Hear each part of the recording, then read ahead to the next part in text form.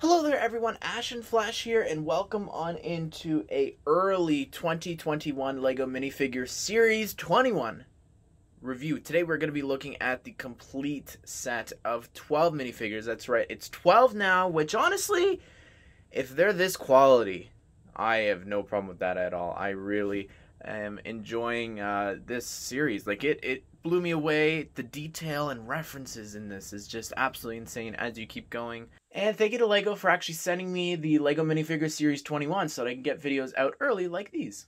But uh, anyways, without further ado, let's go ahead and let's take a look at each of the figures going in order of what's on the checklist. Alright, let's start things off with what LEGO is calling the Paddle Surfer. And she does actually come with a dolphin piece here as well in the series, so um, that is that's cool to get, I guess.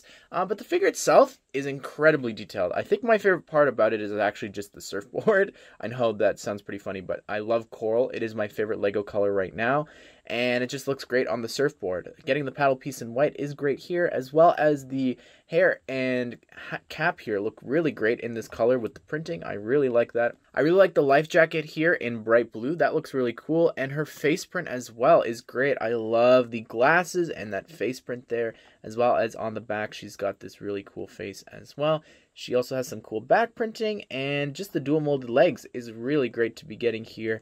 And I just love all the detail there for the shorts. But let's take a look at the torso. And look at that torso, like it's so detailed. I love the dolphin there, just the whole thing there. It reminds me just some of the colors of Paradisa. It's it's really nice. I really love uh, the this torso, and even the fact that like the black is coming through here, it just adds to the fact like that this is like a a water suit. I think that's really cool. Here is the Violin Kid, and I really love this figure down to the detail on the shirt, the reference there to Blacktron, as well as the violin is just so cool. And I think that the wand piece here used for the violin is it's great. I really love that. I think that looks really cool. It is so detailed here. The Violin Kid could grab it from there as well, which I'll show you in a second, but I think that this is just such a great looking figure. Like there's just so much like you could just have him like standing there. It's just like I don't know. It's so great. But uh, let me show you how to put that on. It's kind of like um, I guess they did that with the guitar as well. So there's a lot that you could do there, and um, I I don't know. I just really love the violin. It looks so nice. Again, look at the torso there. So incredibly detailed. It looks great and on the back the hood printing. It's really good. And the shorts nice color as well. And the face though could be one of my favorite parts about this. It's he's just he's just in the moment there just playing his music. And then on the back maybe hit like a wrong note and he's just like kind of concerned. I really love that face print. Here is the shipwreck survivor and to me i know a lot of people always say fortnite steals skins from lego but Fortnite did this one first. I don't know. I just I think that just some of the references and things in here, it just it feels like it's ripped from there. But anyways, enough about that. Um, there's there's it's just such a great figure. I love the tattoo on the arm as well. That could be perfect for pirate custom figures and things like that. I really love that. The caveman hair and beard here looks great. Disappointed, there's no volleyball. I mean, that would have been really awesome to do. Wilson! Like, it would just, you know, it would have been so great to get in this, but uh, I, I don't know. It, it just, it would have been great. Um, I like the little message in the bottle. I think that's pretty cool, as well as the hermit crab here.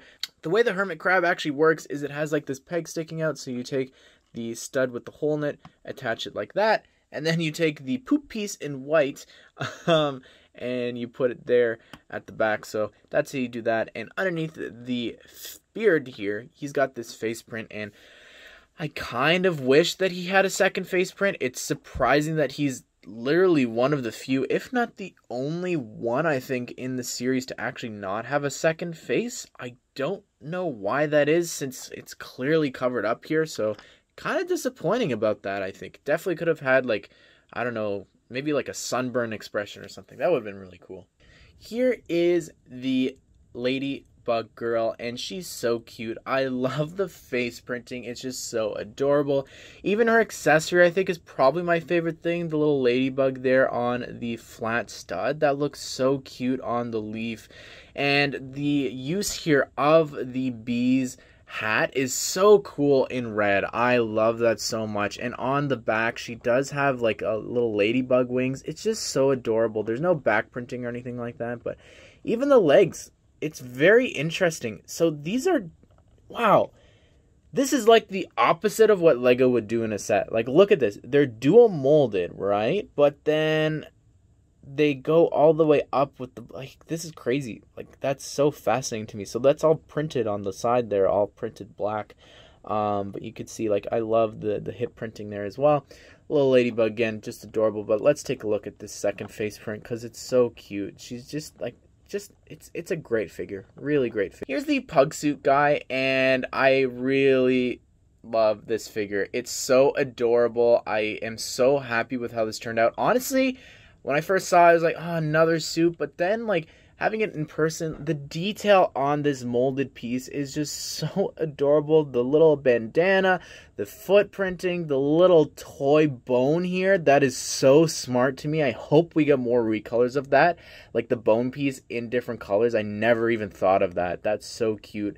And the face print here is just so cute with the tongue sticking out like that. And on the back, like that face is just adorable and the bandana carries over to the back and the little ponytail it's just so cute. This is just such an adorable little figure. And out of all of the figures it honestly be the one that i'd be the most happy with having multiples of if i was getting this series on my own. Here is the centaur warrior and can't help but feel like that that's Canada reference there, right? The the belt there with the maple leaf. Uh, but she's she looks good. Uh, she's actually using the brand new Harry Potter Centaur piece here, but it's recolored in this dark orange, which looks really good with the brown the dark brown tail. Um, it's probably my least favorite figure in the whole series. It's just I don't know. They definitely could have done something interesting with the hair just because it's just it just it's like a modern hairpiece that we've been getting recently but i, I guess it, it, it's fine? I don't know. Even the bow like it definitely should have been the fancy elf bow i think um but i like the quiver here on the back. That looks cool. And the apple to i guess do some target practice. She has some really nice arm printing here. And on the back of her head she's got this second face print which is really great. It's unnecessary. Like this series just minus the shipwreck survivor the second faces are just really unnecessary, but it just adds to the figures. Here is the beekeeper, and this is such an amazingly detailed figure. I thought that the visor there was just like the dark sort of, I call it gunmetal, uh, but it's like the, the, the dark grayed out clear pieces. It's not. It's got this foggy effect, which is just amazing. Like that's meant to be mesh or whatever it is. Like that's it's beyond incredible. The fact that Lego like pulled that out for this. Like that's that's really great. Um, I love the uses here for the pieces. That's so intelligent. Using the superhero like the stand piece there up on an upside down mug. Yes, I heard your comments, but oh my goodness, it's so smart. I really love that. And getting the mug in silver for the first time as well is fantastic. I think it is at least. I've never gotten one, but it's just like I just there's so many uses for this. Like and the two by two tile here is great as well with the little honeycomb pieces and everything like that. Underneath this as well, th- he's got this second face, which is amazing. Like that's the face that I thought he came with, but he's got his tongue sticking out because he's just he's just hungry for honey. And I love the little honeycomb logo there on the chest and a little bit of honey on uh, right there as well on the torso and the leg printing. The fact that it goes from the side and all the way up, it's a really detailed figure. And the dark red gloves, I mean, dark red love dark red. Here is the Ancient Warrior, and I love the detail on this figure. I don't necessarily like this isn't something that I would normally say I have an interest in, but it like this is undeniably such a detailed figure. I love the leg printing there. It's so great. The painting there, like it's so great. The shield as well is incredible. This new sword piece, it's so cool looking. But even like this headdress helmet, like look at that. There's printing there, black there, blue there. The eyes are like there's just so much detail in this figure. And then he's even got this second face print. Like look at that. That looks super super great. I'll show you that with the helmet on. Um, but I love the look of that and the back printing as well. The arm printing. This figure is just phenomenal. That looks so funny. Here is the airplane girl, and she's really adorable. I love getting these little vehicle suits. Like, it's so cute with, like, the car suit guy from Series 18. Now we get a little airplane. Now I want a boat. Now I want a train. I want it all. Um, but it's so cute. I really love this. Like, you could really accessorize with this. Like, uh, if you wanted to do little MOCs and things like that, because there's studs here and there, and on the other side, it's really nice. Um, this is actually the propeller piece that you put like on hats, so that's really adorable the face as well. Like it's so detailed. She's got a little bit of a, a like a scuff there on her face i guess because she's had a few uh not so happy landings. Um but i really love the back face print as well. Let's take off the plane and then i'll show you it with the helmet. Here she is and i love the outfit the little jumper. It's so cute the jumpsuit. It what is that a reference to? Fp is that that a j? I don't know. Let me know down below if you know what that is but i think that looks really great and on the back here as well. She does have a really nice propeller looking logo. And the helmet here the goggles are actually brand new in dark tan if i did my research correctly on brickset. Um, so that's really cool to be getting for the first time in that color here is the Space Police guy, and I love this figure. It, it's so great. Um, I like the fact that it's a part of like the regular space there with the logo in the gold. That's really cool. I like the riot shield. That's pretty awesome. As well as this flashlight or baton is pretty cool. You could swap it out for like the gun here, the handcuffs in black, which I think the first time was in the Disney train set. So that's really cool to be getting in a cheap set. I love his face here as well, and the little visor can flip up. I like that it's in red.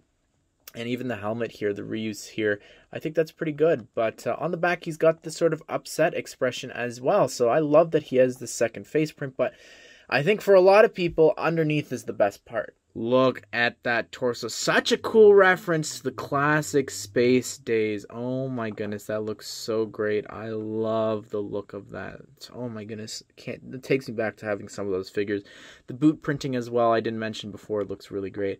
On the back he's got police written there and a better look at his face if you didn't see it before through the stuff that was on the backpack, but Wow, what a great figure. I wish he had some arm printing because I definitely feel like they could have done something special with that. Even if it was just a stripe of something, um, it just feels a little incomplete that way, but he's already got so much, so I don't know why I'm asking for that. Here is the alien, and not too big a fan of their inclusion just because it kind of connects to another figure, and it's like, why are they the two with a connecting story? But I don't know, it's kind of interesting. Um, it's like I don't know, it's got like spikes on the back. I like the texturing on the side of the the head the eyes and the, the mask, I guess, is, is, is fascinating. I like the crowbar and gunmetal gray. That's great to be getting. Um, but even the leg printing, it's really great. I love how that carries up and just into the torso and everything. It's so cool. I love the feet printing, the shoulder printing as well is really cool. Wow, look at that. It's not dual molded. That's really fascinating. Got to take notes for my CMF series. Um, but the torso and everything, the hexagon printing, that's that's pretty cool. And on the back, he's got like, I, I guess that's like his oxygen breathing. And maybe he's stealing the crystal for that. That is the same color. So that's kind of interesting. Here's the cabaret singer. And honestly, my favorite figure, I think, in the series. Her colors here are just so great. It reminds me of some of the, the singers from the Lego Movie 2 series. I love all the sequins and glitter and everything on the torso, the legs as well. The dual molded legs there in purple and turquoise look amazing. And I'm not sure which way this little fabric piece is supposed to go. Is it the glitter on top? Is it glitter on the bottom? I can't tell from the checklist which way it's it's meant to be. It, it's not very clear. Um, but yeah, let me know which way you're going to display it. But I think she looks great. It, it's really great. You could take off the mic if you wanted to and give it to her and put it in her hand here. But taking off this headpiece, you could see that while she does have this amazing singing expression on the back, she's got this like happy, happy expression. And I love the back printing as well. And again, dual molded legs. Just fantastic looking figure.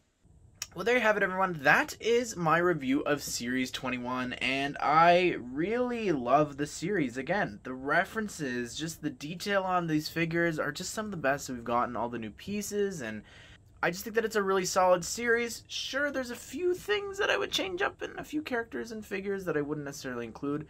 Especially like having an alien and a space cop. It's like, why are they in the same series? It's just it's just kind of strange to me. Like that alien surely should be someone else um, in my opinion. But I want to hear your thoughts down below in the comment section. What do you think of Series 21? Have you been able to find it? Uh, let me know. So be sure to subscribe and turn on the bell notifications so you don't miss out on future LEGO 2021 news and reviews. As well as if you want to see a feel guide, be sure to not miss out on that because that'll be uploaded um, within the next few days. So be sure to check that out when it does upload if you are trying to go out and get some of these figures. But I hope you guys did enjoy this video and I hope you all have a great day.